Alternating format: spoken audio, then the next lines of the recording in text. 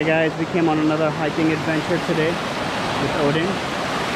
Beautiful spot.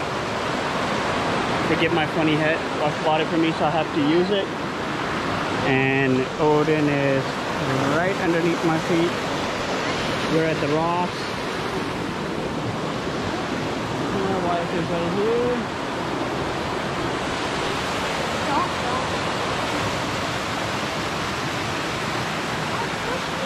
Honey, you cannot go that far.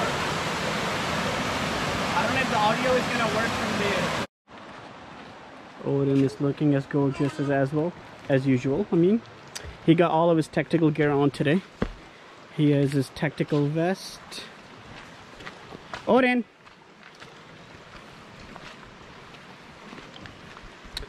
All right, Odin, come here. Come here.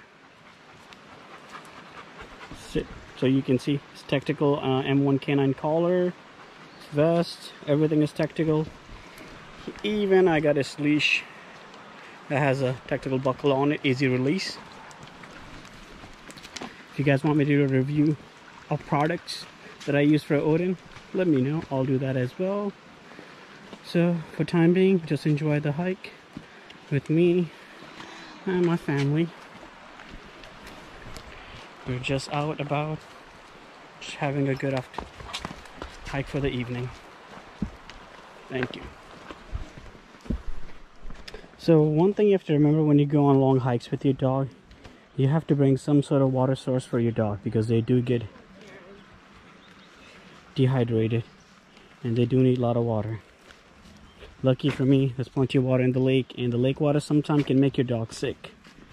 Good thing about Odin, nothing upsets stomach. He has a pretty, pretty solid stomach, so I am blessed for that. Because most dogs, if they drink water from the lake, they get do get sick or have diarrhea or something. So be careful with your dog. not worry with Odin because that's one good benefit of having a dog on a raw diet.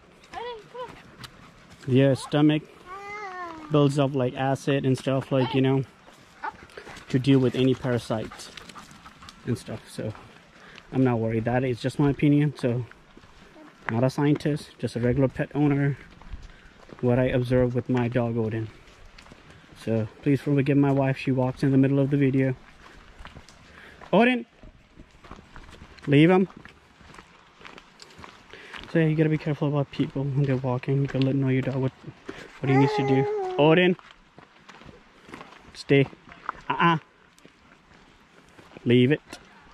So see the people there, he ignoring them. Perfect, perfect thing to do when you're walking with your dog off leash. He has to know not everybody likes dogs. Somebody see, some dumb person did not pick up their dog's poop. That is pretty bad. Always be a responsible pet owner and pick up the poop. Hey, watch out for the poop right there. Hamza, can you pick it up and put it in higher place, please? I know, but be respectful and reasonable.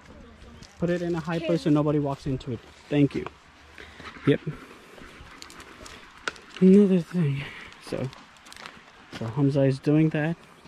Not liking it, but he's gonna do it. Always be a res responsible pet owner. Pick up after your dog.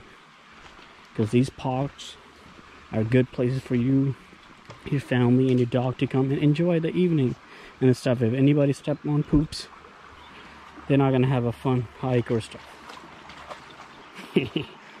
He's little finicky. Odin! So, gotta have full control. And again, I'm back in the same river, you know. Because last time my two boys didn't come with me, so they were complaining and stuff. So, had to bring them with me along for this hike.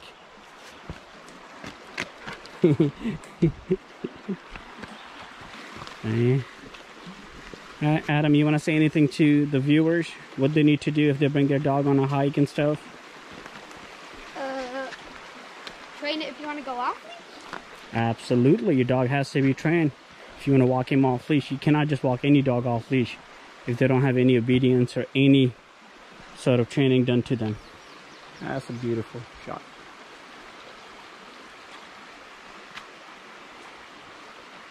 He's just enjoying himself. Like he's looking back because my wife and kids are right there. They're calling me, so let me go check see what they found over there. Always be careful um, when you're taking a young puppy out for a hike and stuff. When I say young puppy, I mean something between 8 weeks to 16 weeks. They're still young and still growing. So you don't want to take them on trails and stuff because it's too harsh on their body because their body is still growing and stuff. Their bones are soft. They can easily break them and stuff. And another thing, these trails are like up and down. They got steps they gotta climb, rocks and all that. So that put a lot of pressure on their hips and stuff.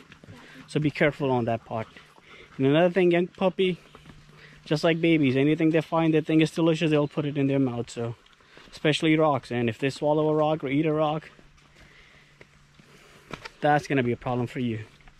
He's gonna lose his appetite for a while.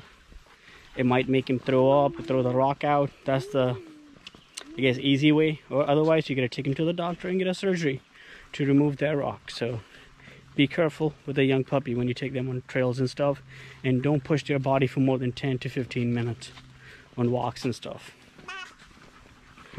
that's Odin for you guys he's just enjoying himself on a hike with the family everybody and uh, it's another adventure with the family today so thank you so much guys for watching my videos and liking them I hope you guys like these videos and let me know what other topic you guys want me to cover on July 1st, Odin is turning two. Um, I'm going to take him on July 2nd. I already got his hip schedule to get an x-ray done on them because as soon as he turns two, I'm going to do that. I already sent his DM test to make sure he does not have the disease. Not a, It's not a disease, it's a carrier of a gene. So I'll talk more about that next video and stuff. So thank you so much for watching. Alright, he's pooping now always, always bring your poop bags. Hi, thank you guys. See you guys next time.